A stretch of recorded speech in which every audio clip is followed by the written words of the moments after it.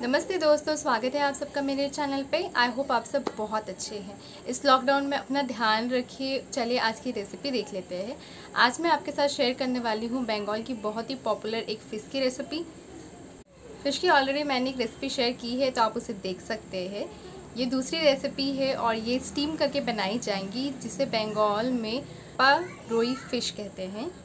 ये रोई मच्छी से बनाई जाती है मतलब रोहू फ़िश से बनाया जाता है और बहुत ही अच्छा और टेस्टी लगता है।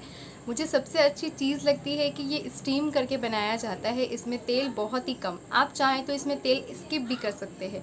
तो रेसिपी पसंद आए तो लाइक करें शेयर करें और प्लीज़ मेरे चैनल को सब्सक्राइब ज़रूर कर लीजिए। यहाँ भापा रुई बनाने के लिए सबसे पहले हम मछली ले लेते हैं।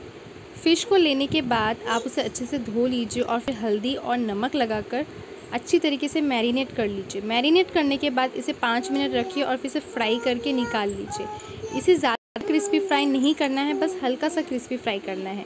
आप एक छोटी सी टिफ़िन की कटोरी लीजिए, जिसमें वो मछलियाँ आराम से आ सके। उसमें हम ऐड कर लेंगे सरसों का पेस्ट, तीन चम्मच दही, तीन चम्मच नमक थोड़ी सी लाल मिर्ची का पाउडर थोड़ी सी हल्दी थोड़ी सी धनिया पाउडर थोड़ी सी रोस्टेड जीरा पाउडर। थोड़ा सा एक चम्मच तेल सरसों का। इसे ऐड करके सब अच्छे तरीके से मिक्स कर लेंगे। अब इसमें मच्छी ऐड कर लेंगे और मच्छियों को हल्के तरह से ऊपर नीचे से थोड़ा सा मिला लेंगे और हरी मिर्ची ऐड कर लेंगे। अब इसे थोड़ा सा पानी ऐड करेंगे। पानी ऐड करके इसे अच्छी तरीके से मिला लेंगे। नमक और तीखा आप अपने अनुसार ऐड कीजिए। पानी ऐड करके इसे हल्के हाथों से मिला लीजिए और उसके बाद इसको कवर कर लीजिए। इसका ढक्कन बहुत ही टाइट तरीके से लगा दीजिए। चलिए अब इसे स्टीम कर लेते हैं। स्टीम करने के लिए मैंने यहाँ कढ़ाई ली है या एक पतीला लिया है। उसमें पानी भर लीजिए, जो आधा हो टिफ़िन बॉक्स के। आप उसे गर्म कर लेंगे और उसमें टिफ़िन बॉक्स को ऐड करेंगे और 15 मिनट मीडियम फ्लेम पे अच्छी तरीके से इसे बॉईल कर लेंगे। 15 मिनट के बाद इस टिफ़िन बॉक्स को हम निकाल के साइड रख लेंगे।